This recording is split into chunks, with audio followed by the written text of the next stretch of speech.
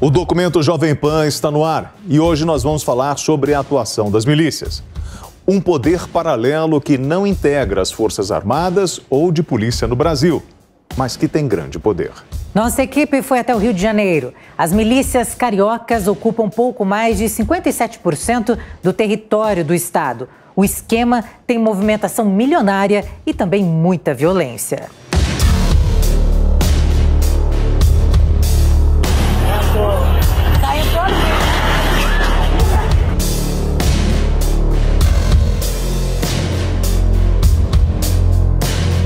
Do Rio de Janeiro, a força da milícia traz medo e insegurança para milhares de moradores.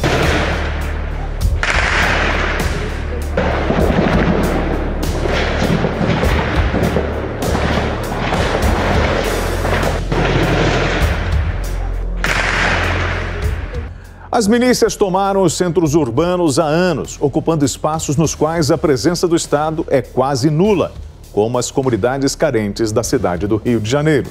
Os grupos são compostos por agentes e ex-agentes da lei, além de civis, que exercem um tipo de controle extorsivo sobre comunidades nas grandes cidades brasileiras.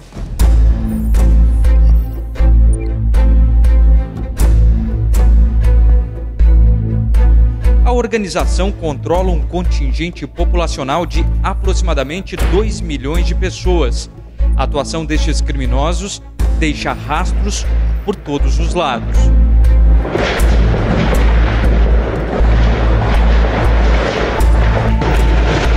O sociólogo José Cláudio Alves estuda a milícia desde a década de 90, além de viver e trabalhar no coração da Baixada Fluminense. A milícia aqui no Rio de Janeiro tem uma estrutura muito antiga, vem da década de 60 então, é, é, é, um, é um desenvolvimento ao longo de cinco décadas, não é uma coisa simples. Os grupos de extermínio que se formaram no final dos anos 60, a partir da ditadura militar de 64, eles traziam uma estrutura do aparato policial, policial militares, policial, policiais civis, bombeiros, que operavam execuções sumárias de pessoas na Baixada Fluminense e também no Rio de Janeiro. Eles recebiam financiamento de empresários e comerciantes que queriam limpar as áreas e queriam manter os seus negócios. E também eles tinham apoio político, apoio da ditadura, apoio de gente ligada ao regime militar que queria, com essa, com essa estrutura de grupo de extermínio, controlar ah, os grupos armados, controlar a oposição, estabelecer um domínio total nessas regiões.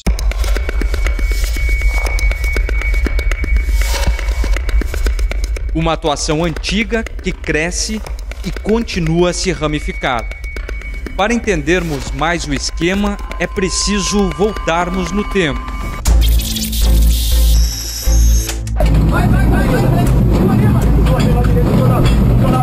Nos anos 80, civis começaram a montar grupos de extermínio também, e a partir dos anos 90, meados dos anos 90, você começa a ter os protótipos de milícia. A milícia, então, ela traz vários elementos dos grupos de extermínio. Primeiro, são servidores públicos, não tem nada de paralelo, não tem esse negócio de poder paralelo, isso é palhaçada. O que você tem é servidores públicos que atuam diretamente na organização das milícias. Segundo, são especialistas em provocar danos à vida dos outros, porque eles operam na área de segurança pública com práticas permanentes de confrontos bélicos, tortura, assassinato de pessoas como uma estrutura da própria segurança pública brasileira. Eles enaltecem a dinâmica do extermínio, a lógica do bandido bom e bandido morto. Então, isso faz parte da construção dos grupos de extermínio e da milícia também. Depois, eles têm controle territorial, eles controlam áreas, esse controle territorial é que dá a eles o poder, controlam sempre de forma armada, então é, você não vai contestar de forma alguma essas pessoas, porque eles são grupos armados. E aí você está numa situação de muita desvantagem. Quarto, eles têm é, financiamento de empresários e comerciantes. E quinto, que é muito importante, os milicianos e também os membros de grupos de extermínio, eles se elegem, eles são personalidades políticas. Então, essa estrutura que eu estou falando, desses cinco pontos comuns, elas evoluíram ao longo de décadas.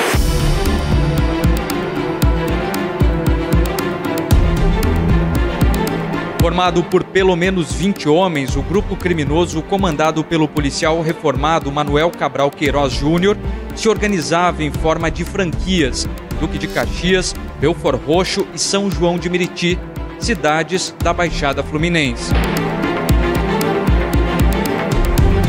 Já na época, os integrantes praticavam agiotagem e extorquiam dinheiro em troca de segurança compulsória. De acordo com a denúncia do Ministério Público do Rio de Janeiro, membros do Grupo de Atuação Especial de Combate ao Crime Organizado, a quadrilha de Manuel Cabral começou a ganhar no ano de 2000 como milícia privada.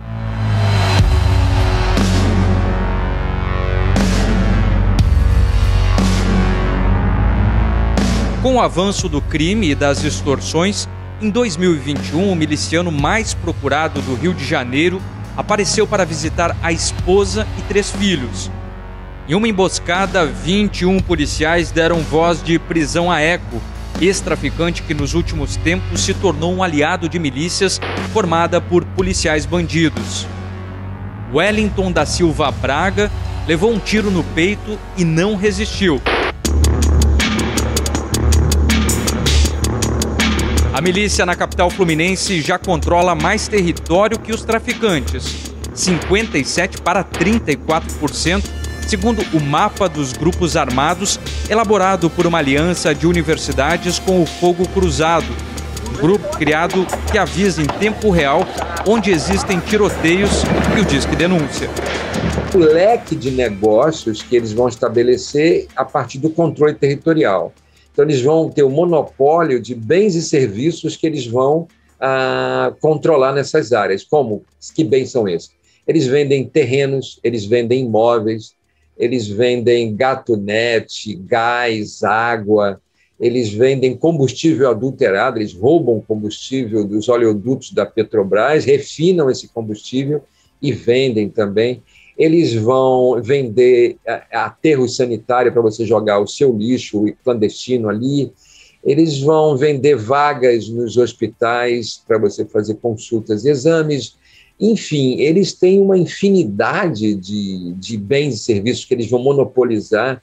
Recentemente, eles estavam vendendo é, pedaços de calçada para você montar a sua loja de negócios aqui no Rio de Janeiro eles têm uma capacidade, então, de controle territorial que permite ah, comercializar as coisas que estão nessas regiões como um todo. Então, esse é o poder miliciano. E, por outro lado, como eles têm poder político, eles se expandem nessa área em termos de.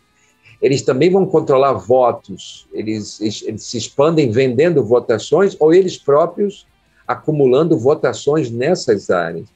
Então, essa é uma estrutura muito perfeita, é um controle absoluto sobre as pessoas, é uma estrutura totalitária. A gente fala que o Brasil é uma democracia, isso é uma piada. Nas áreas onde a milícia atua, você não tem democracia, você tem uma estrutura totalitária, eles controlam a vida das pessoas, você não tem muito como você se livrar desse poder armado. Né?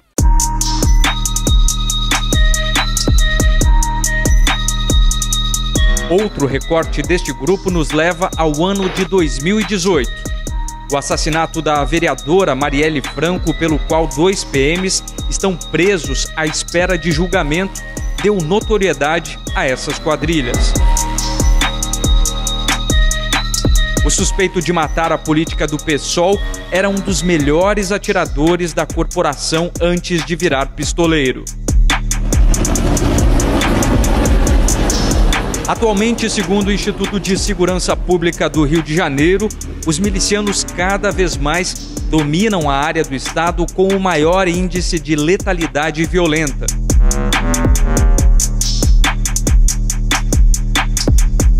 Quem vive nestas áreas já criou mecanismos de como permanecer no local, uma forma de tentar se proteger e evitar mortes. Esta senhora fala do medo que há anos toma conta dela e da família.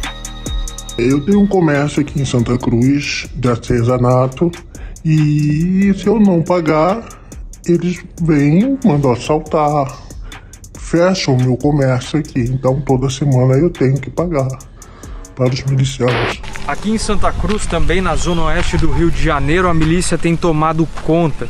Diversos confrontos foram registrados nos últimos meses, inclusive neste espaço onde nós estamos, foram encontradas sete vans queimadas.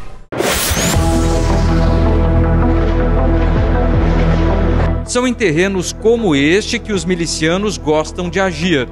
São locais bem conhecidos por eles, mas onde tudo é controlado.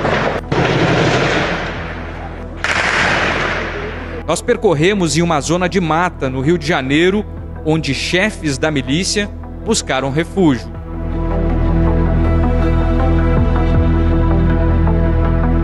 Muito perto desta área que tudo acontece. Esta moradora confirma o que o grupo de estudo dos novos ilegalismo pesquisa.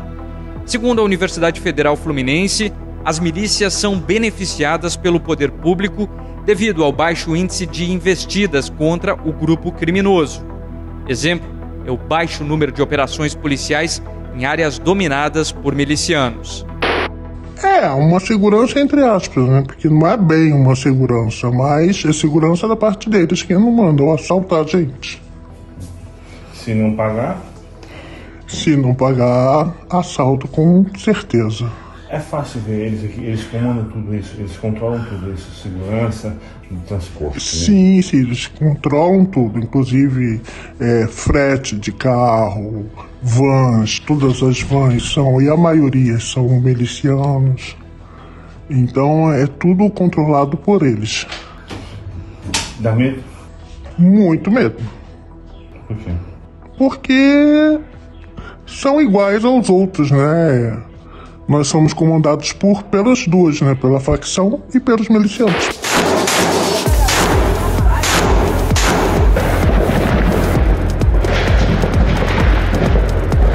Demorou para ela entender que, na verdade, a segurança nunca chegaria ao local. Ela se recorda que, nos piores momentos, os milicianos chegaram a fechar toda a comunidade. Há uns 15 dias atrás, Santa Cruz fechou todo. E aí, como que foi? Ah, todo mundo ficar em casa, ninguém sair, porque tá tendo tiroteio entre uma facção e milicianos. E é um medo total. Medo total, total. Tanto dos moradores, dos comerciantes, das crianças que vão para a escola, porque correm risco de um tiroteio. Então é um medo total. Hoje, polícia não existe aqui, né? Fazer isso. Olha, quase não se vê. E o pouco que tem, tem muito o que fazer, né? Fazer. Como que é, assim, criar uns filhos aqui, criar uma família aqui com, com esse perigo todo? Ah, a gente cria com muito medo, né? Muito medo, muito medo mesmo. Porque a gente não sabe como se vai para a escola quando voltar. Então é aquele negócio, a gente levar, tem que buscar, e para andar aqui hoje em Sepetiba, Santa Cruz, ainda não tem quase ônibus, agora é tudo van. Então se torna mais perigoso ainda. E, e tem vai vivendo, né? O que vai se fazer? Não tem outra opção. Hoje qual que é o seu maior medo? Meu maior medo é sair na rua e levar um tiro.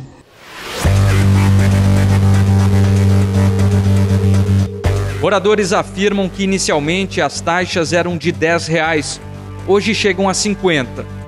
Nos estabelecimentos comerciais, os valores são bem mais altos. Quem ousa não pagar se torna alvo. Alguns estabelecimentos foram roubados diversas vezes. A loja americana em Sepetiba foi várias vezes assaltada, quase todos os sábados, porque não quiseram fechar negócio com milicianos.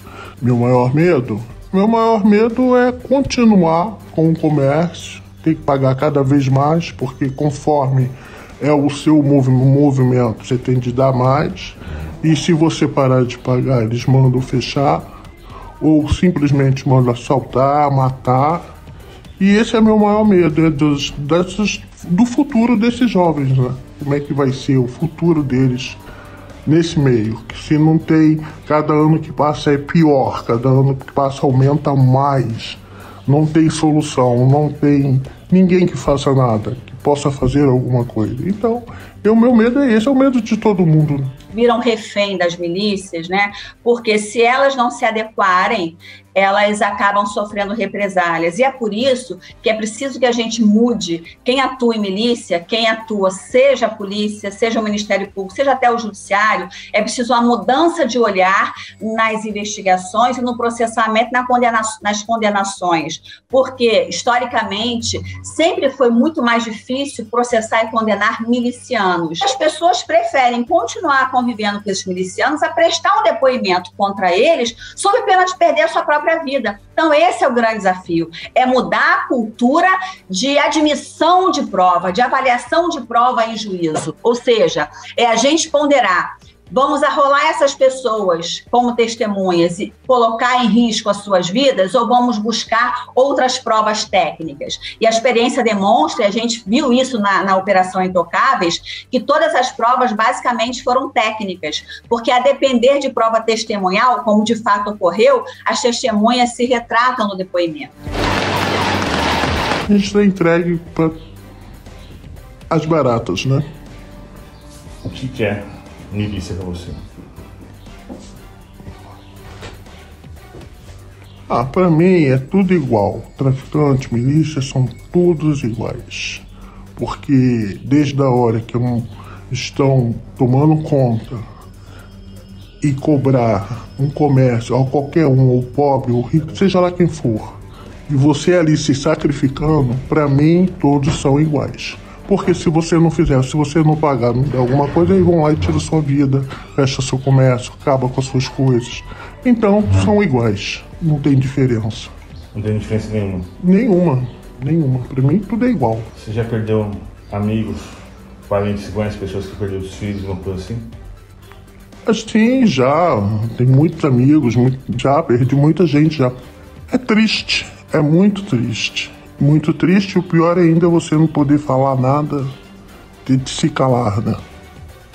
Como muitos fazem.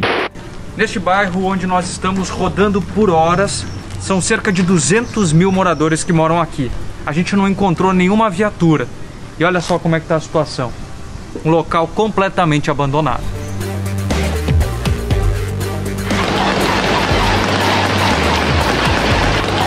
Eu costumo usar essa expressão, as pessoas falam, ah, um poder paralelo. Eu digo, não é paralelo, gente. Paralelo se corresse um aqui e outro ali. Isso é paralelo. Isso é um poder perpendicular. É um poder que atravessa as estruturas. Então a gente tem representantes desses interesses, que isso envolve poder econômico, envolve muito dinheiro, a gente sabe disso, dentro da estrutura do poder judiciário, dentro da estrutura do poder executivo, do legislativo. Isso não é uma coisa assim, não é culpa da polícia. Tem que parar com isso. Tem muita gente aí dando espaço e passando o pano com interesse econômico. A gente tem a questão da telefonia, a gente tem a questão do gás, a gente tem questões assim que são serviços essenciais para a população. E aí não é um grupo só. São grupos como se fossem facções, né, que disputam esses territórios. E as pessoas ficam refém disso.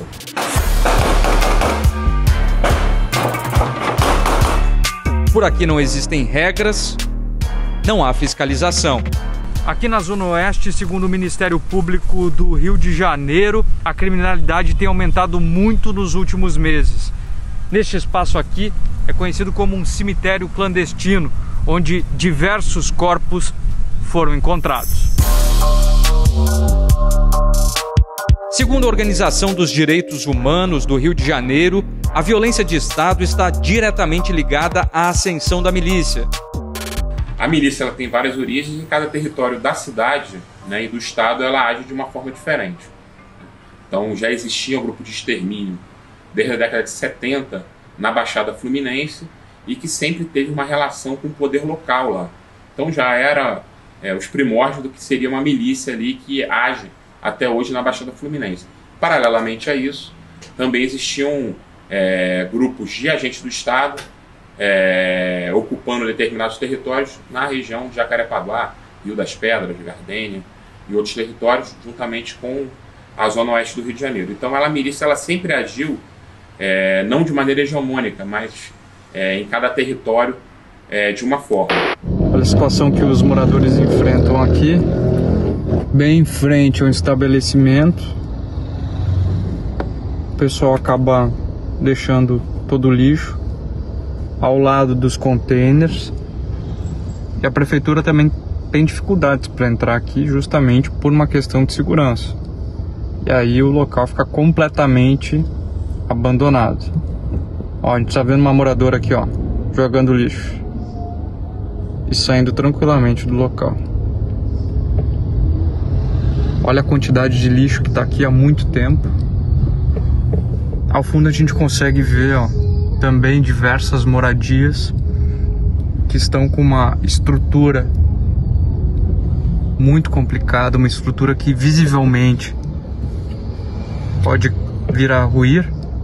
E são nessas vielas onde há uma grande dificuldade para a gente poder ter acesso poucos carros conseguem passar por aqui.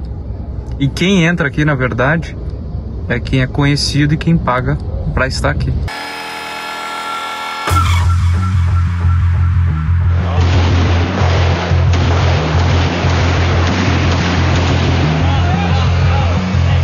No Rio de Janeiro, a pobreza tem aumentado significativamente. Isso afeta muito as condições de vida da população. As pessoas que moram nas favelas são as mais afetadas e estão passando fome. Diante disso, a violência aumenta mais e mais. Nestes locais, é como se fosse uma terra sem lei. Trabalhar e lutar pela própria vida, pela sobrevivência. Então é disso que a gente está falando. Assim. Eu acho que está tá faltando cada vez mais que as pessoas tenham mais.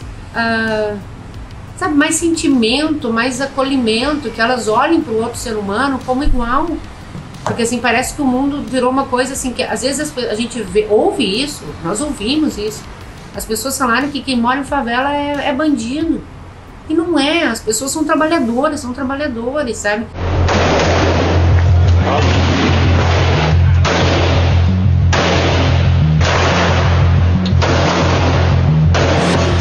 Em uma das operações da Polícia Civil, agentes encontraram nesta casa botijões de gás que seriam revendidos a valores extorsivos aos moradores. Uma casa grande, com diversos espaços onde o material era armazenado. Essa semana eu atendi um caso de uma pessoa que ela foi tirada da própria casa, porque ela não podia pagar uma taxa a mais do condomínio, num programa do Minha Casa Minha Vida, uma prestação de 200 reais por mês. Ela foi tirada da própria casa por pessoas que são reconhecidas naquela comunidade como milicianos. Então, uma pessoa que trabalhou a vida inteira, uma trabalhadora, porque ela disse que ela não tinha como pagar mais os 50 reais. Isso não está certo. Então, assim, um governo que se omite disso, um governo que não se preocupa com isso, isso é responsabilidade do governo. Isso é responsabilidade do judiciário.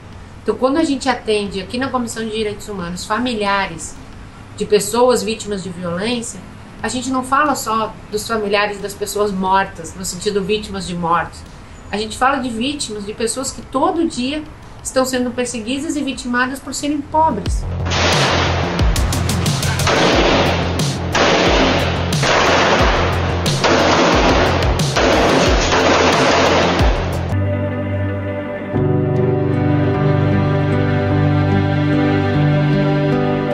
Lembranças de uma vida melhor que estava prestes a surgir. Pela casa, pai e mãe, conformados por todos os lados, ainda revivem a história de Kathleen Romeu, de 24 anos. A jovem que estava grávida de quatro meses foi morta em um tiroteio no complexo do Lins, na zona norte do Rio. Eu tô aqui de pé falando porque eu tenho força para falar só nesse momento, porque acabou a minha vida. Eu não tenho mais vida, eu não tenho mais filho, eu não consigo ser mais mulher, eu não consigo mais ser profissional, porque tudo que eu fiz na minha vida foi por ela. Quem me conhece sabe.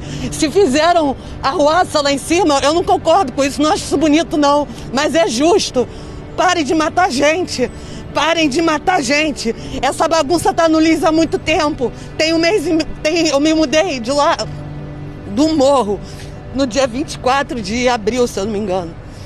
Eu tô todo esse tempo sem ver minha mãe direito, só vim duas vezes. E a minha mãe falando, não vem aqui, não vem aqui, porque todo mundo tá relatando tiroteio a esmo. É o tempo inteiro tiroteio. E bandido não morre nenhum. Bandido não morreu nenhum. Entendeu? Eu estava trabalhando, eu estava trabalhando. Ela morreu nos, nos, braços da minha mãe. Ela foi ver minha avó porque ela estava com saudade. Eu tive ela com 15 anos, mas eu nunca fraquejei como mãe, tá? Eu fiz tudo que eu podia e não podia pra ela não ser uma mulher de bandido, pra ela não ser uma vagabunda. Então, se você chegar lá, as pessoas respeitam ela. Kathleen Romeu é exemplo. É mãe pega de exemplo Kathleen Romeu pra querer aquilo pra filha. Tá? Então respeita a memória da minha filha. Não fala que foi bandido, porque se fosse bandido eu também falaria. Eu não passo pano para ninguém não. Eu sou honesta, eu sou trabalhadora, eu morava no morro porque eu precisava. Mora no morro quem precisa, gente do bem mora no morro porque precisa. Quem tem filho sabe o que eu tô falando, porque ninguém às vezes começa do alto, não. Eu saí tem um mês, são 40 anos morando na comunidade e tudo é falta de respeito. A polícia já entrou na minha casa, a polícia já entrou na minha casa, tá? Falta de respeito porque eles acham que todo mundo ali é parente de bandido. Eles acham que qualquer vizinho é bandido. Não é assim que funciona. Parem de matar gente. Eu não sei por que, que minha filha morreu. Mas se tem que ficar alguma lição, que fique. Porque não tem que matar mais filho de ninguém. Mate bandido. Mate bandido, que a polícia treina para isso.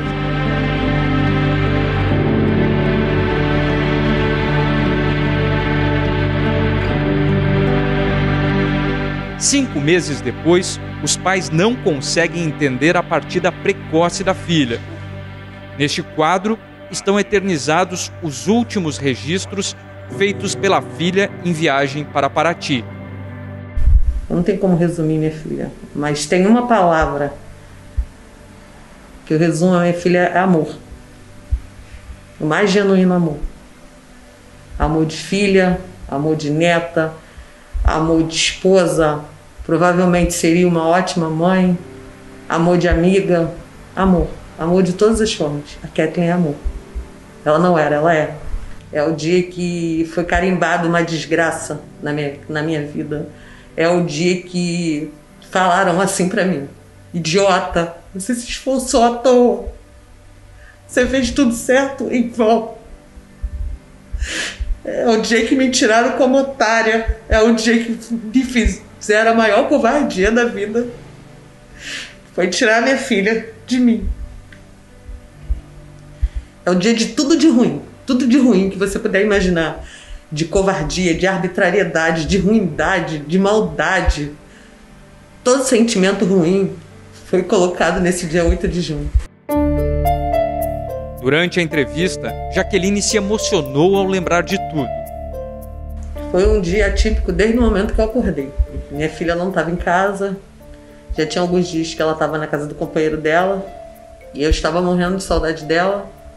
E nesse dia eu acordei muito indisposta, nada físico, como se fosse algo muito espiritual e eu não sabia dizer o porquê eu não queria trabalhar. Eu levantei da cama com muita tristeza, uma extrema tristeza. Eu não, eu me arrastava dentro dessa casa, eu não sabia o porquê. Levantei, tomei banho, tipo, não conseguia desenvolver, botar uma roupa, pegar minhas coisas e trabalhar. E eu lembro bem desse dia, desde o início, que de manhã, nesse caos todo que eu acordei, nessa tristeza toda, não era o caos ainda, eu pedi para eu fiz um pedido muito especial para Deus. Eu estava, eu falei, estou morrendo de saudade da minha filha. Eu amo a minha filha. Bota ela para vir para casa hoje, que eu não queria ligar para ela para pedir para ela vir para casa. Que eu nunca gostei de fazer isso. Eu sempre deixei ela livre. Mas eu falei para Deus assim: eu estou morrendo de saudade da minha filha. Bota ela para vir para casa. O Senhor me deu uma família. Eu, acordei totalmente grata a Deus pela minha família e com muita saudade da minha filha. E eu fui trabalhar. E quando foi por volta, eu não consigo me recordar a hora. Eu sei que eu vi o status de alguém, do, da manicure da minha filha, que mora perto da onde aconteceu, e ela colocou assim: ai, tiros. Ai, tem uma pessoa gritando. Aquilo me irritou profundamente. Falei, ai, não sei por que essa menina colocou isso. Que agonia ver um negócio desse e não poder fazer nada. E de repente eu comecei a receber ligações de pessoas que não estão acostumadas a me ligar no dia a dia. Minha sobrinha de 10 anos me ligou e falou: Tia, eu falei, oi. E ela depois não retornou mais. Depois o padrinho da minha filha me ligou, mas aí a melhor amiga dela, que também é a madrinha do neném, me falou: Tia, você tá onde? Ela não, porque eu queria te. Eu não sei se foi alguma coisa de Pix, de depósito bancário. Ela viu que eu não sabia. E nesse meio tempo, acho que o padrinho da minha filha me ligou. Quando ele me ligou, eu falei assim: tá acontecendo alguma coisa. Pessoas aleatórias me ligando. E aí, quando ele me ligou, eu tomei a ligação dele e liguei para amiga dela de novo, porque elas estavam sempre juntas. Eu falei: o que que tá acontecendo? Só que até então, achei que poderia ser algo com a minha mãe. A gente sempre pensa no mais velho, né? E aí falou assim, chorando, a Kathleen. Quando ela falou a Kathleen, aí vem milhões de pensamentos na sua cabeça. Ela falou, eu pensei só assim, poxa, ela perdeu o neném. Ela caiu, tomou algum tombo, perdeu o neném. Eu tá no hospital, alguma coisa relacionada a isso. Por mais que isso aconteça no Rio de Janeiro toda hora, essa realidade ainda é dos outros, não é a sua. Você entender que ela passa a ser sua. E eu falei, como que minha filha. Aí eu já pensei tanta coisa. Eu falei, será que ela estava com o telefone que ela sempre vivia falando, andando, digitando? Eu falei, será que alguém tentou tomar o telefone dela, ela reagiu, deram um tiro nela? E eu perdi minha voz. A distância para eu chamar alguém, eu comecei a me tremer, eu consegui falar com o meu gerente, pedir ajuda. E nesse meio tempo ele foi me buscar no trabalho. E aí eu lembro que no carro, eu fui falando, perguntando para ele, o que está acontecendo? E ele falava, eu não sei, eu não sei, eu sei a mesma coisa que você. E eu falava, você não está me escondendo nada? Ele falava, não. E ao mesmo tempo eu falava assim, ah, mas foi um tiro no braço. Ela vai ficar bem, ela é jovem. E daqui a pouco me deu um desespero que eu falei assim: não, mas um tiro no braço. Bom, tiro no braço, fuzil. Eu pensei no fuzil. Eu falei: meu Deus, minha filha é tão magrinha. Eu comecei a ficar desesperada falando com ele: ela pode perder o braço. Mas eu lembro que eu olhei, estava dentro de um táxi, de um aplicativo, qualquer coisa assim. Eu olhei para fora da janela e falei assim: Deus, eu quero a minha filha sem braço, mas eu quero a minha filha. E aí, quando eu cheguei no hospital, eu lembro que minhas palavras foram essas: Não me escondam nada só que quando eu falei isso, eu tava achando real que a minha filha tinha perdido o braço.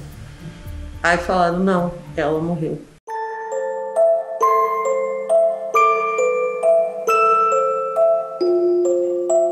O laudo do IML confirmou que ela e o bebê morreram por causa de um tiro de fuzil no peito. A mãe da designer de interiores disse que a família tinha deixado a comunidade e evitava ir para lá por conta de confrontos na região. Eu sei que eu me recusei e me recuso até hoje a acreditar nessa história que me foi imposta, né? Essa história foi imposta. Querem me tubar. Aí começam as coisas, as fantasias de que estava na hora. Não, nem tá na hora. Não tá na hora de uma garota com 24 anos, cheia de sonhos, honesta, grávida. Ela estava grávida. Ela era uma jovem. Já estão matando jovem e com filho na barriga. Isso é muito grave. Isso é o caos da sociedade, isso é muito grave. Não foi só eu que perdi a minha filha. A gente perde como cidadão. Isso é muito grave. Os filhos da gente já não podem ficar velho e nem podem mais gerar filhos. Eu ia ser vó, eu só tinha ela. Eu não tenho outro filho. Eu não tenho possibilidade de ser vó novamente. Isso é muito grave. Isso não, não, não se resume, não tem palavra para isso. Não tem palavra. Eu não consigo dar uma palavra para isso. Só consigo dizer que me ferraram.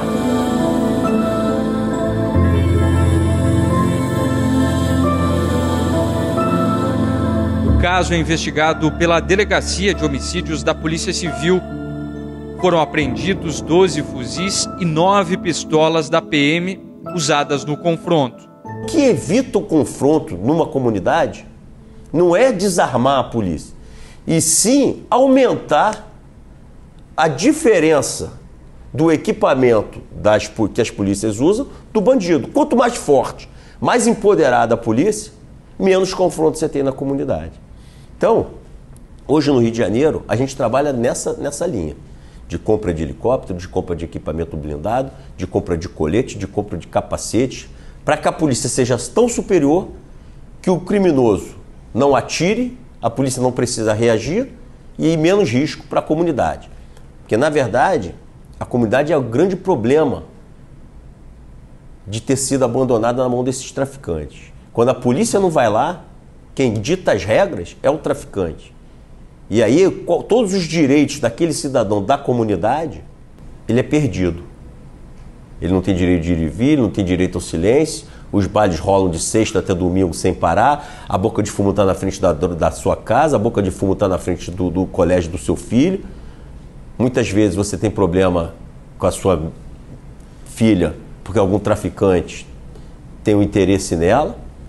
Então, assim, na verdade, se, não, se a polícia não puder ir lá, ela com certeza está abandonando a quem mais precisa, que é a comunidade local, que muitas vezes não tem recursos para se mudar.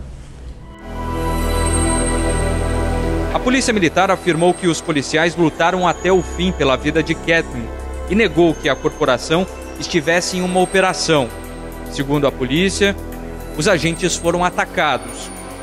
O pai ainda guarda as roupas da filha e do bebê que estavam prestes a chegar. Isso aconteceu dia 8 de junho. Não tem um dia. Minha, eu, eu, eu classifico a minha vida antes do dia 8 e depois do dia 8. Não tem um dia que eu não morra todo dia junto com a minha filha. Que eu não reviva tudo que foi feito, tudo que foi falado, tudo que eu vi. E essa punhalada, esse tiro de fuzil, como eu falei que minha filha tomou, que eu tomo ele todo dia. Todo dia eu morro, aos poucos. Todo dia eu morro. Tudo me faz lembrar minha filha.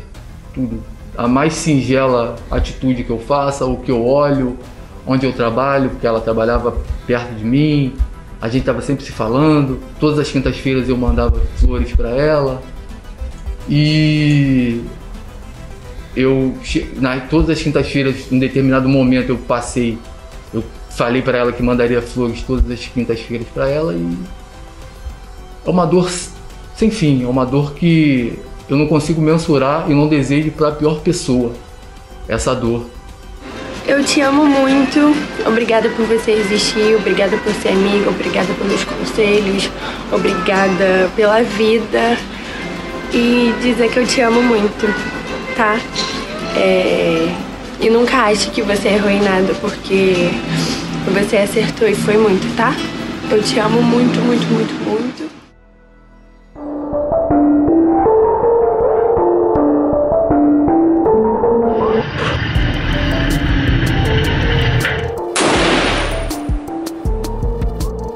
Estas duas mulheres estão à frente de um grupo que busca encontrar crianças desaparecidas no Rio de Janeiro. O drama de muitas já dura mais de 10 anos. A maioria acredita que os desaparecimentos podem ter ligação com a milícia. Nossa, nós estamos entregues. É, o poder paralelo tomou conta do estado do Rio, assim, eu acho que, ao meu ver, né, e pelo que eu vejo na televisão, é, eu acho que o poder público perdeu essa, nessa, nesse jogo, eles ganharam. Porque você escuta falar desde a violência contra moradores dentro das suas próprias casas, que eles tiram de dentro das próprias casas, ao botijão de gás que eles querem vender, é, cobra segurança para os moradores, né? Então, assim, o que a gente paga de imposto, a gente não tem retorno do poder público.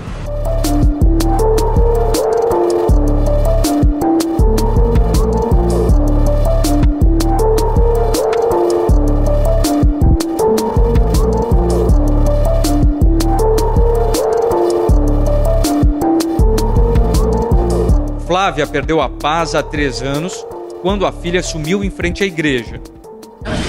Minha filha desapareceu dia 9 de janeiro de 2015. Tem seis anos. Ela tinha três anos de idade quando ela desapareceu na porta da igreja, no Mandela. E assim, gente, eu, eu não sabia que o número era tão grande de desaparecidos até eu ter a minha filha desaparecida. E o descaso é muito grande e assustador. E nos dias de hoje a gente tenta fazer a visibilidade, é, mostrar à sociedade tudo que tem acontecido. E as pessoas ainda mesmo assim é, querem culpar os pais. Tiram o direito da criança de brincar, tiram o direito da criança de ir até na padaria, porque dizem que a culpa é da mãe, que, que mãe deixa o filho na padaria? Não, a culpa é de pessoas maldosas que existem nos dias de hoje. A culpa é do ser humano que já perdeu o amor pelo próximo e é muito triste. A gente vê que cada dia isso só piora, né? Em vez de melhorar, só tem piorado. Vidas abruptamente ceifadas, traumas e feridas totalmente abertas. São muitas famílias que buscam na justiça respostas por tantos crimes.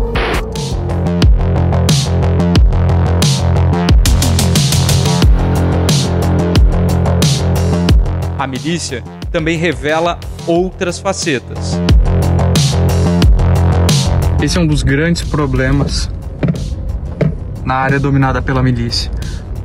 Olha a situação desse prédio que ruiu. Esse local aqui há registro de mortes. Porque são construções que são feitas sem a menor preocupação na parte estrutural. As pessoas acabam pagando, algumas compram os imóveis e o resultado que a gente vê é isso aqui, essa é a realidade. Destroços por todos os lados. Bom, agora são 6 horas da noite, é um horário em que a gente ainda consegue transitar. Nós estamos em Rio das Pedras, considerado pela polícia o berço da milícia. Aqui é um local onde a gente consegue perceber muitas construções irregulares, comércio ilegal também e a dificuldade de poder conseguir transitar neste horário. Após este horário, fica praticamente impossível passar por aqui por uma questão de segurança. O que a gente está vendo aqui é o que possivelmente pode acontecer com esses prédios aqui. O que acontece? Isso aqui é uma situação, é um local onde o terreno é muito irregular. Se a gente for ver mais acima, é uma zona de mata. Esses prédios são construídos rente a essa zona. O resultado aqui ao lado foi esse. Possivelmente, se aqui não acontecer um trabalho de contenção nessa área, pode acontecer a mesma coisa. Esse descaso social atravessa gerações. Gabriel é fotógrafo, morador de Queimados, na Baixada Fluminense. Ele convive e sabe bem como a milícia atormenta e causa medo em moradores. Lá onde eu moro é basicamente a base de milícia. É milícia o tempo inteiro. Só que era aquilo que, é igual eu falei agora, que antes era mais oculto. Era tipo, ah, o bairro tal é a base de milícia. Hoje em dia não, o tempo inteiro, lugar, qualquer lugar que você tá é milícia o tempo inteiro. É milícia agindo bem mais do que a polícia. Uh, você vê mais. Uh, se você tá com um problema, por exemplo, lá onde eu moro, tem um bairro que ele é super tranquilo, não por causa da polícia que tá agindo, é por causa da milícia que tá mandando em tudo e deixa mais tranquilo do que se fosse a própria polícia agindo. E vive naquela segurança falsa, porque na primeira, sei lá, uma milícia entra em confronto com a outra, a gente não tá seguro de nada. É forçado a gente a pagar as coisas, tipo, tem que dar tantos reais para gás, tem que dar tantos reais para internet, a internet tem que ser, sei lá, única exclusiva que eles fornecem, sabe, que gente tem que pagar por aquilo, é surreal. Isso é uma realidade que você, assim como você falou anteriormente, em relação à milícia, presencia você é muito jovem, mas Sim. desde jovem? Desde jovem o tempo inteiro. Eu sempre, onde eu moro, eu moro no centro, então comigo não é diretamente que acontece. Mas eu tenho parentes onde, que bairros que eles moram lá em Queimados mesmo, que é tipo o tempo inteiro. É, eles vivem isso, sabe? Então, por eu conviver muito com eles, eu sei como que funciona, porque é isso que eles vivem o tempo inteiro. É tipo, desde pequeno e agora tá muito maior, que a gente cresceu, a gente vê muito mais isso acontecendo. Parente, eu tive parente que tem que pagar pelo gás, pelo menos, sabe? Comércio também? Sim, sim, comércio principalmente. Tem que pagar um aluguel para eles, tem que alugar, pagar o aluguel da pessoa que tá alugando e tudo é a base deles ali. Você acha que vai continuar crescendo? Com toda certeza vai continuar crescendo. Por eu acho não vai. Eu acho que é uma construção muito longa no tempo para isso mudar. Não é de uma hora para outra que, sei lá, mudou a política em quatro anos, vai mudar, não vai. É uma muito tempo aí que você consegue ter essa real mudança. É, a porta cinza, só com as paradas azuis assim.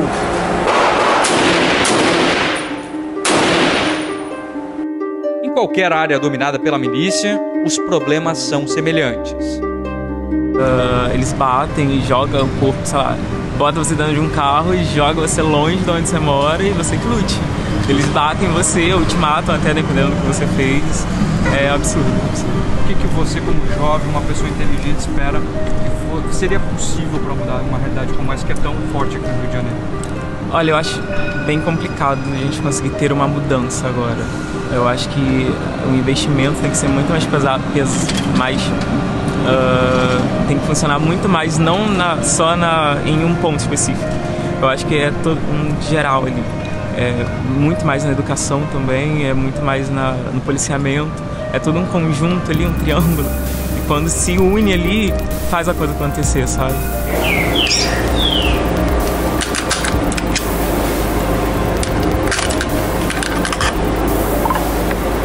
Cheio de munição martelada, velho. Olha isso aqui, cara.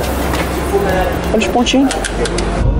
Pra gente passar por aqui, praticamente tem que parar o carro Olha como está a situação aqui dessa rua. Choveu há poucos dias, alagamento. Os motoristas precisam fazer malabarismo para andar por aqui. Olha esse motociclista, olha a dificuldade que ele tem para passar, tem que quase que subir na calçada. E toda essa água que fica parada aqui chega quase entrando nos estabelecimentos. As mães com as crianças, vivendo num local totalmente insalubre. Esse carro aqui mostra que tem mais gente chegando aqui, mais gente vindo morar aqui, carro de mudança.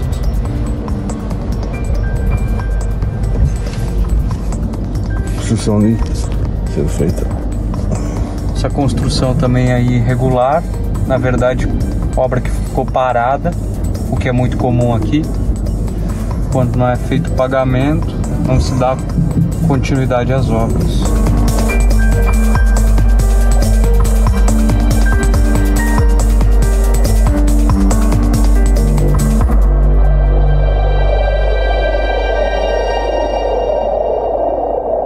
O Estado os agentes do Estado, o Estado, quando eu falo aqui, é executivo, legislativo e judiciário. Essa dimensão que nós conhecemos do Estado, ela resolveu negociar com grupos armados. Então, a milícia é essa forma de negociação, é um negócio que não é só grana, é poder político, é controle territorial, há uma dimensão de poder muito grande. Ela vai negociar com o tráfico de drogas e vai também vender pontos de droga para o tráfico vai negociar roubo de carga, roubo de veículos, tudo. Então, quando você junta essa rede criminal, ela está dentro de uma governança criminal que o Estado ele comporta. Hoje, o próprio Estado ele, ele está negociando a, o monopólio da violência que ele deveria ter para nos dar garantia de alguma coisa, ele já negociou com outros grupos e permite que esses grupos controlem essa violência e controlem os territórios. O que nós chamávamos antigamente de uma soberania territorial, o Estado hoje ele fraccionou e, e decide que esses grupos podem ter controle territorial. Então, eu estou falando para você de uma dimensão que não é só econômica, ela é política, econômica, cultural. Estou falando de uma dominação de amplo espectro. Ele controla praticamente várias dimensões das nossas vidas. Então, isso, isso, isso, você ter isso nas mãos significa você ter um dos maiores negócios do mundo. Você controla informação, controla território, controla economia, controla política, cultura. As pessoas desenvolvem cultura nessas áreas sob o domínio miliciano. Então, é, a meu ver, você está numa dimensão que nem nós ainda somos capazes de entender direito o que significa isso.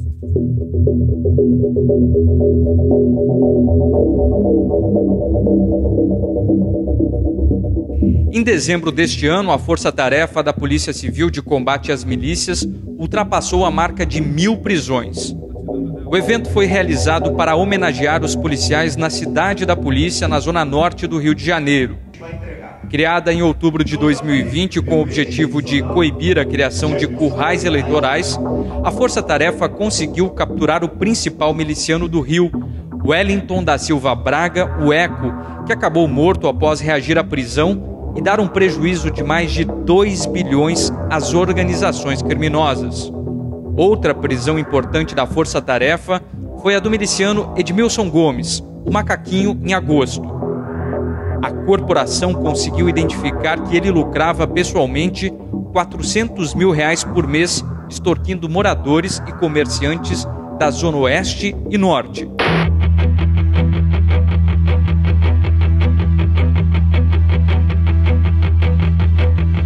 A Polícia Civil conseguiu prender Antônio Lúcio Fernandes Forte, o Antônio das Casinhas, de 39 anos, suspeito de chefiar a contabilidade e a parte financeira do Grupo Dizinho, considerada a maior milícia que atua no Rio de Janeiro.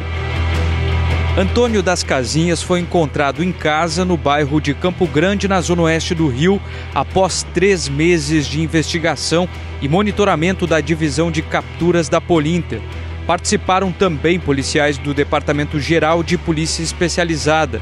Durante as buscas em sua residência, os policiais encontraram uma pistola, munição, cadernos de contabilidade do grupo, fardamento militar e dinheiro. Após a captura de Macaquinho e Eco, os próximos principais alvos são os paramilitares Luiz Antônio da Silva Braga, o Zinho, e Danilo Dias Lima, o Tandera. Rivais no crime, os dois milicianos têm se enfrentado constantemente na zona oeste do Rio e na Baixada Fluminense. Ela inicialmente foi quem introduziu nessas comunidades a cobrança das taxas. O tráfico vem agora, num segundo momento, percebe o lucro e começa a operar. E os milicianos, no início, eram muitas vezes aqueles policiais que no início tomavam conta daquela comunidade, a partir daí evitando que o crime acontecesse, a partir daí eles começam a virar ó, grupos de extermínio daqueles que por acaso cometessem crimes ali naquela área. Eles acabam sendo é, descobrindo a questão da cobrança dos serviços para manter aquela segurança. Só que aí a polícia começa a reprimir a investigar e a prendê-los. E aí a coisa evolui. Hoje a milícia, diretamente, ela tem muito pouca participação de policiais. Hoje, quando você prende um miliciano, a gente prendeu o Eco, o Macaquinho, toda segundo e terceiro escalão, nenhum deles é policial. Pode ter ex-policial, ex-traficante, ex-ladrão de carro. Essa hoje é a formação da milícia. E aqueles policiais que dão, que são envolvidos, que dão alguma proteção à polícia, na verdade é mais na área de corrupção hoje do que propriamente diretamente ligado ao lucro da milícia. Então hoje, se eu te der um perfil hoje da milícia, é esse.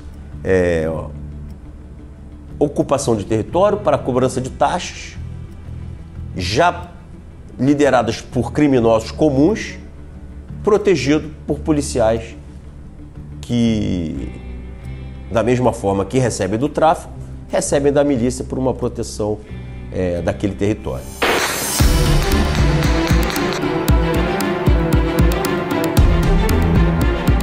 Paulo Storani, ex-oficial do BOP, antropólogo e especialista em milícias, acompanha a segurança pública no estado do Rio de Janeiro há 35 anos. Para ele, faltam políticas públicas de médio e longo prazo. Eu disse que em 10 anos milícia seria um problema grave no Estado, e foi o que aconteceu. E não porque eu sou vidente, é uma questão natural. Porque no início as milícias tinham uma característica de prover segurança para aquele território, fazendo com que a, as ações policiais deixassem de ser desenvolvidas ali, porque não tinha problema com o tráfico. Mas essas milícias, é óbvio, começaram a explorar economicamente a, aquela comunidade, inclusive de formas violentas contra moradores, contra comerciantes, locais, e sem dúvida nenhuma isso é um crime, isso é um absurdo. Né? Então, essa era a minha previsão. E como eu também previ que em algum momento a milícia não ia é, conseguir é, abrir mão da receita proporcionada pelo narcotráfico, porque temos uma demanda muito grande. Num país que não tem uma política pública relacionada à prevenção e uso e abuso de drogas, é, sem dúvida nenhuma nós ficamos à mercê do próprio mercado. E o mercado ele é altamente consumidor. As pessoas não têm a mínima noção que quando compra um cigarrinho de maconha, que realmente não faz muito mal para ele, no, a, pelo menos a princípio, esse é o discurso, mas ele está realmente financiando uma grande rede de violência, principalmente nessas comunidades mais vulneráveis.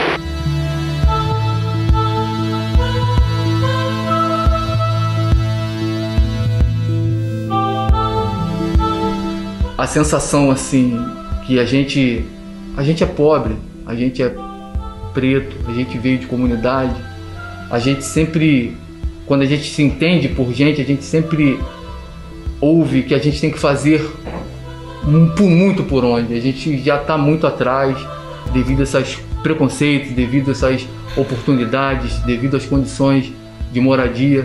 E para a gente tentar galgar uma coisa, a gente tem que lutar muito.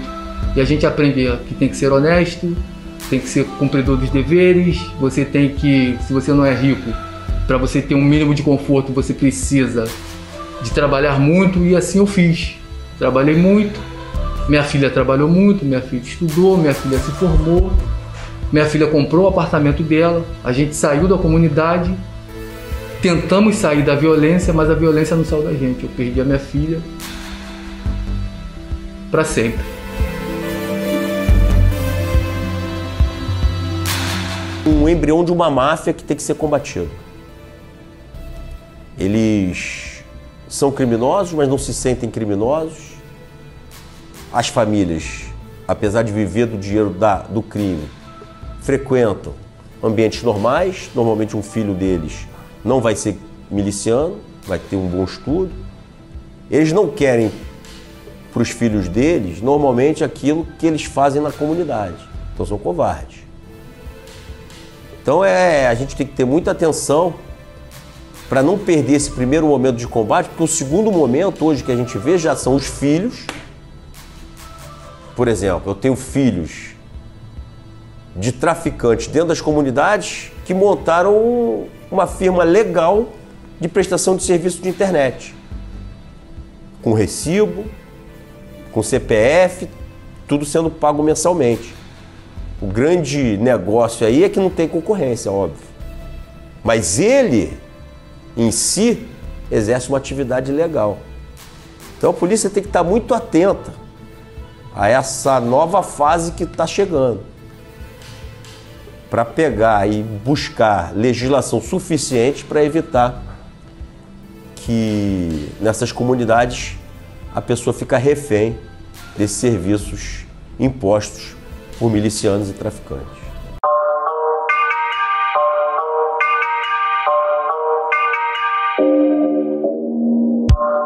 As ramificações da milícia perpassam diferentes esferas.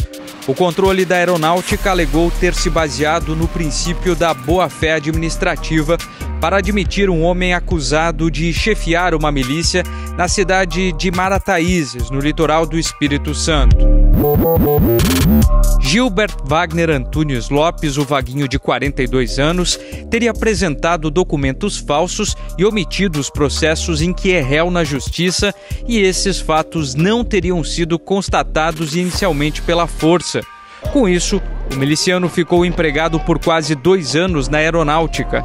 Bastava uma pesquisa em um sistema de buscas, como o Google, para saber do passado do suspeito. Nogueira é nossa! Acabou Adriano já de novo! Acabou Adriano já de novo! Acabou! Nogueira é nossa, tá ao vivo! O possível combate ao fortalecimento das milícias também passa por pesados investimentos sociais para especialistas, ações de longo prazo também devem ser colocadas em prática conjuntamente para tentar atacar as causas que levam à formação e ao fortalecimento de milícias. Um possível alento para a sociedade que sofre tanto com a violência.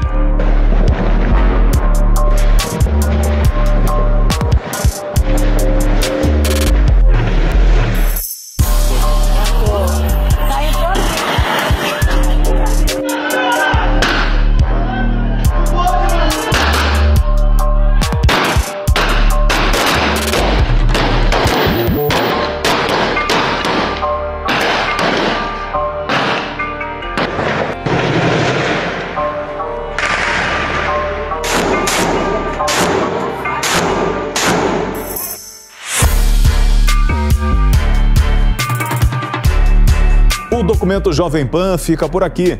Toda semana, reportagem que trazem a verdade dos fatos. E você pode acompanhar o conteúdo no YouTube e também no aplicativo Panflix. Até a próxima. Tchau, tchau.